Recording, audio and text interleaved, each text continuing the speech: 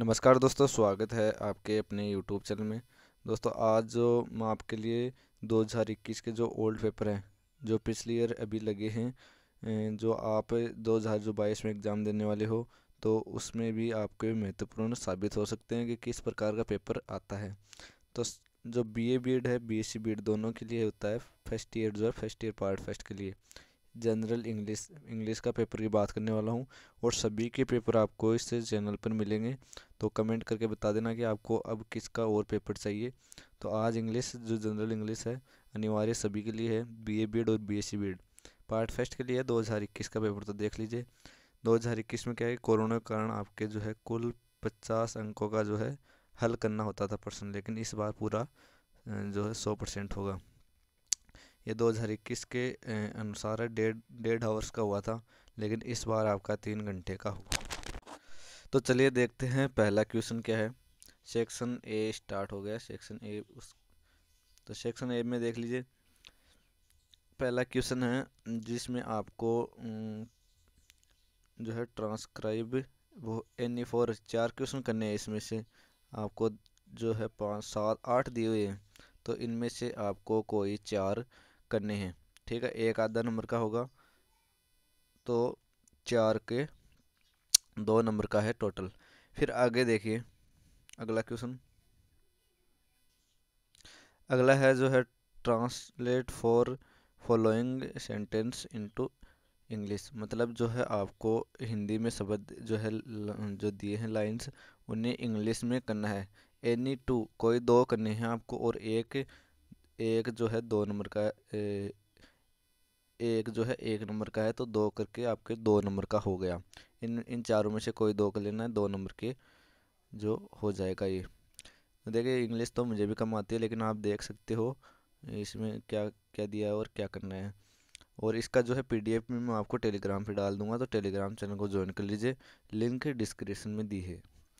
तो तीसरा देख लीजिए, क्या है? सेंटेंस इनटू हिंदी आपको हिंदी में करना है इसे।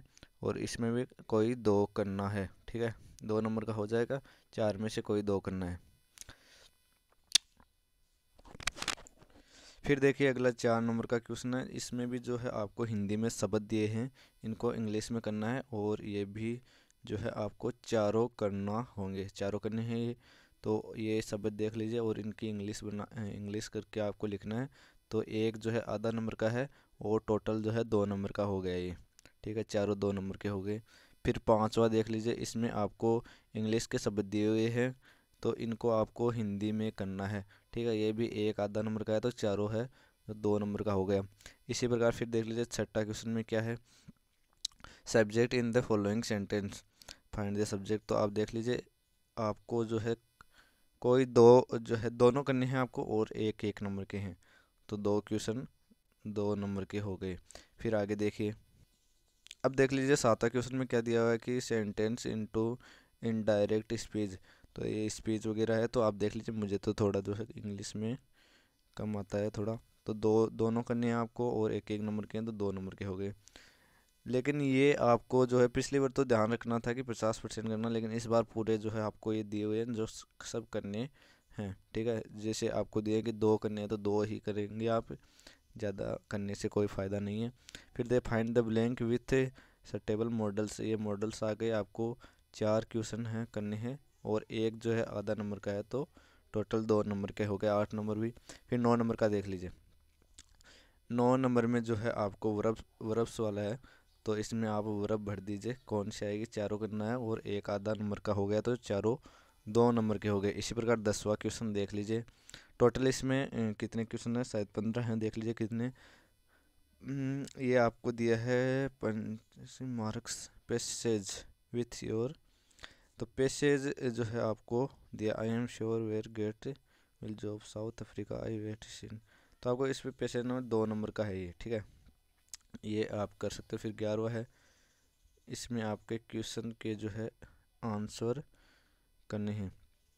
तो इसमें चार क्वेश्चन करने हैं और एक क्वेश्चन पाँच नंबर का होगा, ठीक है?